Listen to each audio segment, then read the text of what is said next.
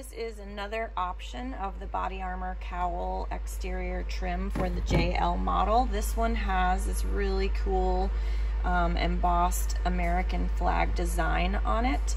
This would come custom painted all as one. Um, the flag would be essentially the same color as the piece, um, but it has a raised design to it. So the flag design would definitely still be evident and visible on the cowl.